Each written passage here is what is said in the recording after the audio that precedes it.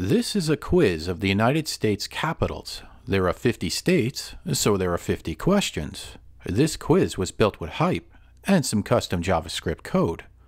You could build a quiz with Hype without having to add any custom code at all. Just make a scene for each question. However, the capitals template is dynamic. The questions appear randomly, and the final score is displayed at the end of the quiz. This is another example of how adding a little bit of JavaScript can allow you to create some fairly powerful projects. So, how does it work? The first step is to look at the capitals function. This is loaded when the title screen scene is first loaded.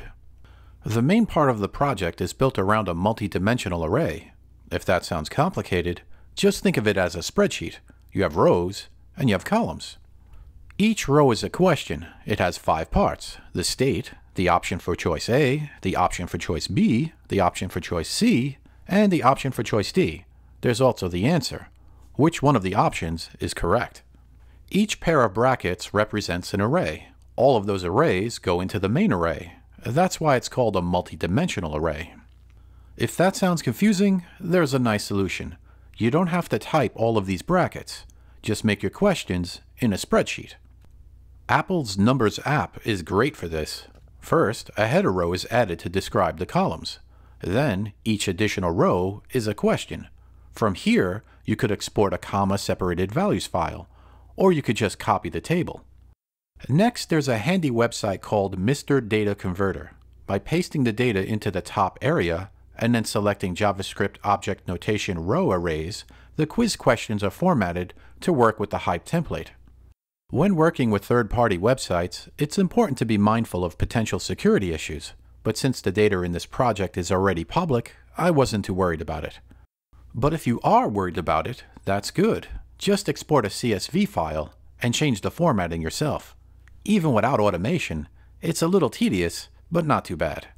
The point is to convert a spreadsheet into an array. This is stored with the window.data global attribute, Storing this array as a window variable might make seasoned web developers cringe. Here I'm using global attributes because I want other Hype functions to be able to access this data. However, that's exactly the problem. Because this value is so accessible and so generic, other JavaScript code on the page could access it too. That includes other Hype projects on the page. As an example, what if you had two quizzes on the page that both use window.data as a variable name. Boom, code collision. To solve this problem, Hype has the hypeDocument.customData API. It says, an object to put any user-defined data associated with the Tumult Hype document. Instead of putting window.data, hypeDocument.customData.data could be used instead. That makes the data accessible within the Hype project but better separated from code beyond the Hype project. I'm actually going to change that now, so if you're using an older version of the capitals template, visit Photics.com to download the newer version. Now that we've improved our variables, let's look at what each one does. The round value keeps track of the number of question rounds that have occurred. The question value is used to grab the random question from the remaining questions available. This template randomizes the questions in the quiz, so it's better for studying and learning the capitals of each state. The answer value is the choice that was chosen. It's compared to the answer column in the quiz data. The score value is the number of questions answered correctly. For each question with the right response, one point is added to the score. This is then used to calculate the percentage score. Personally, I like to keep the variables up at the top of the script, as it's something of an outline of the JavaScript code.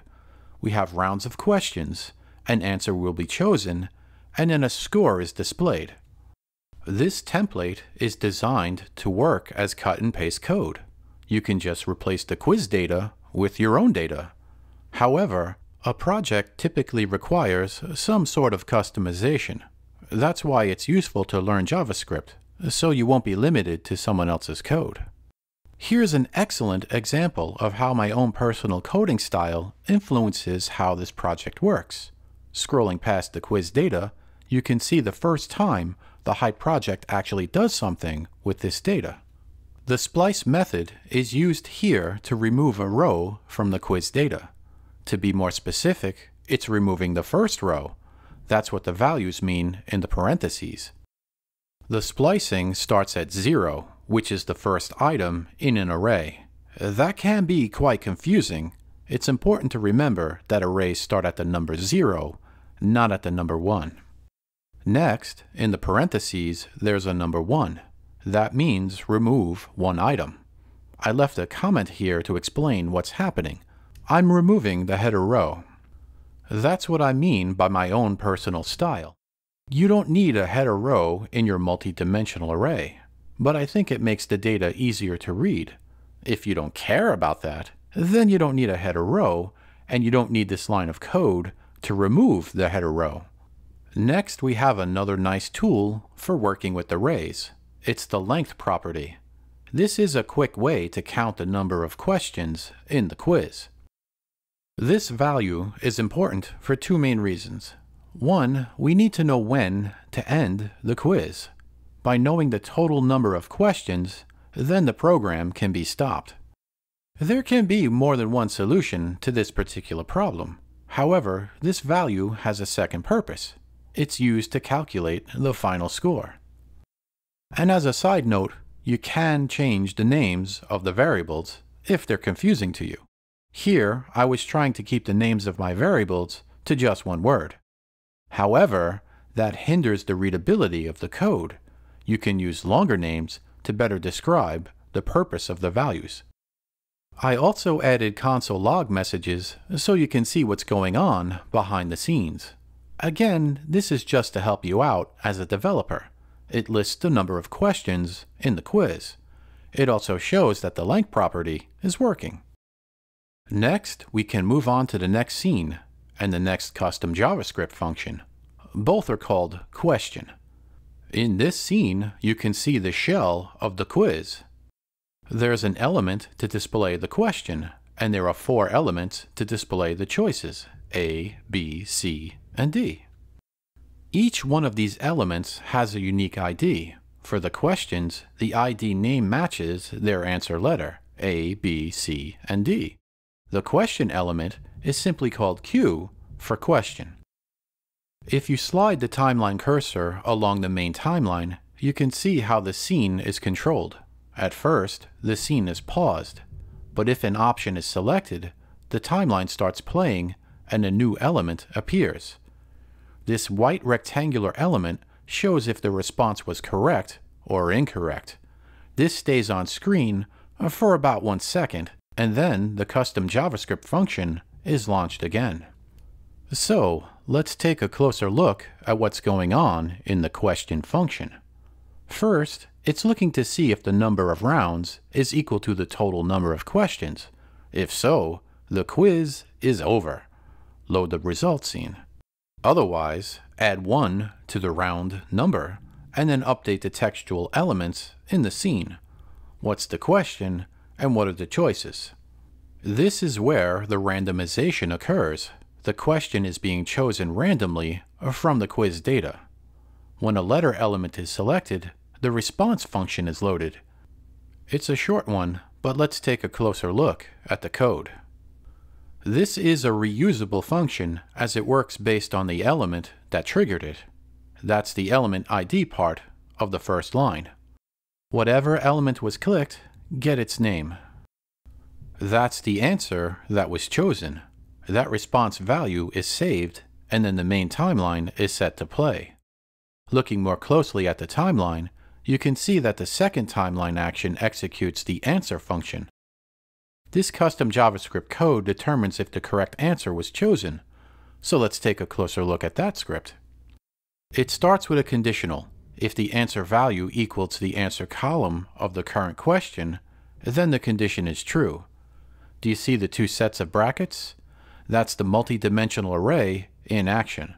The first bracket gets the row of the current question. The second bracket gets the answer value, which is the answers column of the multi-dimensional array. If the condition is true, display a nice message and add a point to the score. It also highlights the selected answer with a green color.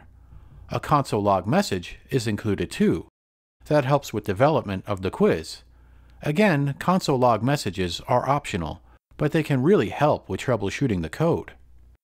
If the condition is false, a failure message is shown, but it also highlights the correct answer.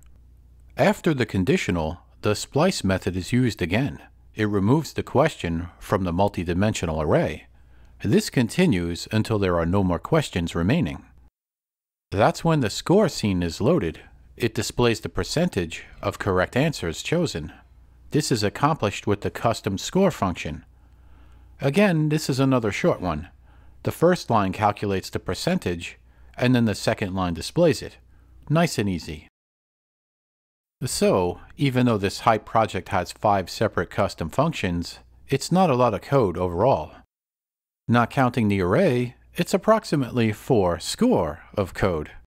It's a patriotic template. It's also to show what's possible with Hype. You can add significant interactivity to your website. With a little more work, a Hype project could be added to a learning management system. Hopefully that information helped you out. Thanks for watching.